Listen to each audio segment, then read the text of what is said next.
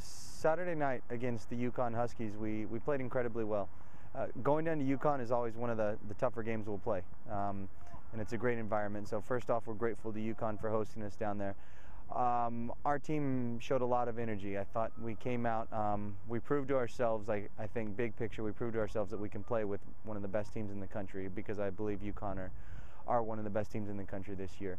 Um, there were times in the game when we were forced into defending a lot, um, but there were also times in the game when we got possession of the ball and we made the most of our attacking opportunities. Um, in fact, we went up one to nothing um, on a well-earned goal, and ultimately, UConn's only goal came off of a penalty kick awarded by the referee. So.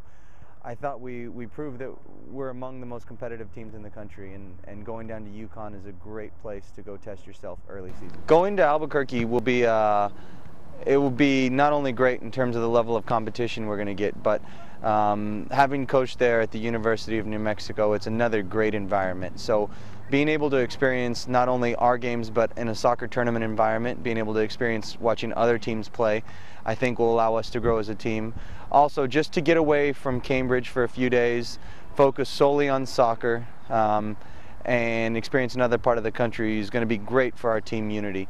So we're excited to get away. Um, we're excited to play top quality competition, and we're excited to experience the culture of the Southwest a little bit.